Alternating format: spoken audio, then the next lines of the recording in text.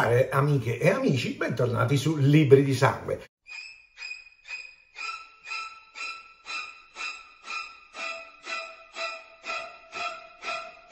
Abbiamo concluso il nostro breve periodo di ferie che io ho deciso di arricchire con la produzione di questi shorts. Cosa sono stati questi shorts? In pratica io ho detto, vabbè, non voglio lasciare tutti il nostro circuito, non mi piace dire i miei utenti perché non vedo questo canale come una mia proprietà, voglio lasciarli soli, però non voglio neanche parlare di libri tutta l'estate, voglio dire come la penso nei confronti del mondo, esprimere quello che sono come essere umano. E mm, in questo periodo ci siamo divertiti parecchio, sono venuti tanti nuovi iscritti che saluto, abbiamo parlato veramente di tutto e di più. Per questo ho deciso che continueremo anche con gli shorts. Durante uno di questi shorts eh, ho parlato di un fatto secondo me tragico, ovvero sia il barbaro omicidio della figlia di un filosofo e politologo che io conosco abbastanza bene e che io stimo, pur non condividendo tutte le sue posizioni, che è Alexander Dugin, definito dai maliziosi, mettiamo così, come il Rasputin di Putin, cosa che in realtà, andando a vedere le cose come stanno, non è. E allora ho deciso di ricominciare portandovi proprio il libro fondamentale, il più importante proprio di Dugin, che è la quarta teoria politica. Perché ho deciso di portarvi Dugin? Perché ho deciso di parlarvi di qualcosa di veramente interessante e specialmente di attualità, visto il conflitto che c'è tra Ucraina e Madre Russia. Dugin è considerato in Occidente come un elemento pericoloso, non pericoloso perché fa attentati o è violento, ma perché le sue idee non piacciono all'attuale, diciamo, mainstream, usiamo dei termini un po' moderni, occidentali. E non è neanche, pensate, così amato in Russia, contrariamente a quello che vi dicono, non è esattamente così. Ma di cosa parla la quarta teoria politica? Ve la faccio breve perché sennò vi dovrei riassumere. Quasi 400 pagine di pura filosofia politica e sinceramente non è questo il luogo nel momento in cui vale la pena parlarne. Dugin dice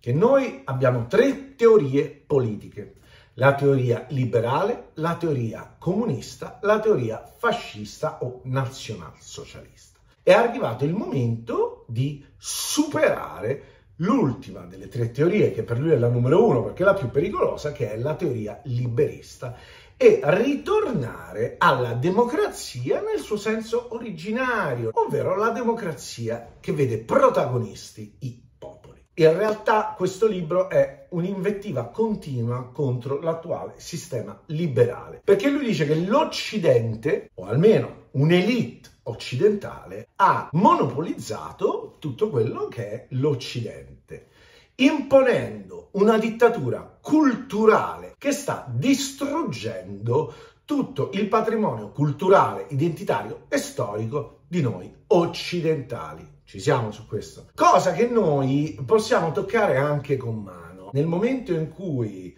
come dice Dugin, una certa elite decide una via da intraprendere usando i media come mezzo di propaganda, avete mai notato che tutti coloro i quali la pensano in modo diverso vengono immediatamente gambizzati, eh, etichettati come folli, pazzi, populisti e roba del genere. Ecco, lui ce l'ha con questo. Facciamo un esempio. Ci stanno imponendo il linguaggio inclusivo.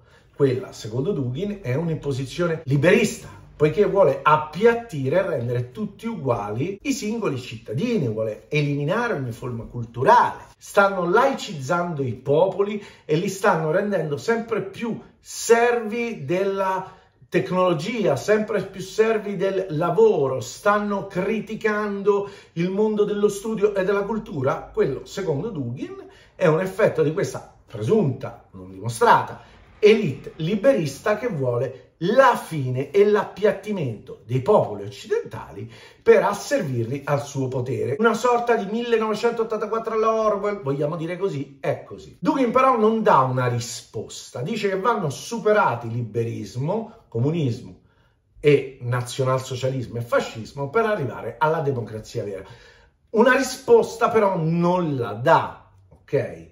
Lui teorizza e poi dice, andando vedendo, saranno i popoli a risolvere il problema. Ora, Qua bisogna entrare in un altro concetto. Quando lui parla di popoli, lui parla di populismo e dice il liberismo ha svilito il senso della parola populismo, eh, togliendogli tutte le accezioni positive e rendendolo quasi un'offesa, no? Perché come populista si intende chi non capisce un cazzo ti vuole spiegare le cose in modo semplice, puntualmente anche spiegandole in modo semplice dice una minchiata.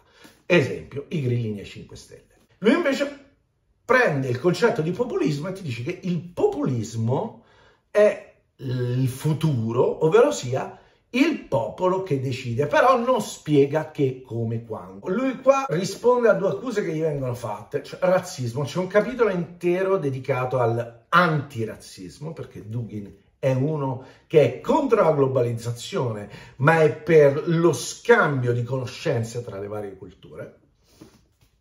E poi Dugin viene definito un antimodernista. Quando Dugin si definisce un antimodernista, non si può parlare di uomo che ce l'ha con la televisione, internet e la tecnologia o col progresso scientifico. No, Dugin intende come modernismo l'appiattimento culturale del modello liberale. Cosa che se noi andiamo a vedere bene o male un po' tutti, mh, mm, tutti noi, tra virgolette, pensanti, non è che stiamo vedendo così bene questo di fatto appiattimento che io se devo vederlo lo vedo nella pop culture e lo vedo in questa eh, sorta di eh, egemonia, tra virgolette, diciamo degli influencer. Faccio esempio, se la politica sala a Milano va a parlare col ministro alla Morgese del problema della sicurezza a Milano solo dopo che ha fatto un post su Instagram Chiara Ferragni e non ascolta le voci dei comitati di quartiere e le voci di chi si occupa della sicurezza, c'è un problema proprio di appiattimento. Cioè, Dugin ci dice che il modello liberale vuole che il popolo sia dormiente, vuole che il popolo non abbia cultura e sia ignorante e vuole che il popolo si adegui e si uniformi in un'unica figura geometrica che deve essere ovviamente, come dicono alcune teorie strampalate, terrapiattista. Questa è la verità. Sicuramente Dugin è un pensatore rivoluzionario. Non c'entra un cazzo col governo russo, non c'entra un cazzo col pensiero oligarca putiniano, non dà le risposte che ti dà il capitale di Marx, però ha un suo incipit che ti scuote dentro. Io ho letto questo libro quando è uscito e ne sono rimasto folgorato. Non sono un duginiano, io ritengo che la risposta sia in un acquietamento, in una moderazione del pensiero liberale, permettetemi il termine, shakerato col pensiero socialista riformista. Infatti io sono un socialista liberale. Però resta il fatto che questo testo ha un suo incredibile perché. Non fosse altro perché comunque ti pone delle domande e non fosse altro per il fatto che va oltre le dimensioni che noi conosciamo e ci dice che attualmente quella che stiamo vivendo non è la democrazia dei popoli, come dicono bene o male tutte le costituzioni europee, ma è la democrazia di pochi e della finanza. Se lo trovate, la quarta teoria politica, fatelo vostro, perché è un libro che vale la pena veramente leggere. Purtroppo non penso che lo troverete facilmente, perché è un libro che è stato un po', tra virgolette, bannato dai grandi circuiti, non si trova facilmente in libreria, all'epoca lo trovai a culo, ma oggi ho notato che non si vede niente di Dugin in libreria, il che è la dimostrazione alla fine che le parole ancora fanno male più della spada. Fatemi sapere cosa ne pensate, fatemi sapere se avete letto la quarta teoria politica, ve l'ho riassunta male e in pochi minuti, ma di più in così poco tempo non si poteva fare, Io avrei dovuto dedicare un'ora e mezza ai video, cosa che non è nel mio stile, e bentornati dalle ferie, ci vediamo per il prossimo video con tante novità, tanti altri libri e ricordatevi, leggere vi fa essere delle persone sicuramente migliori.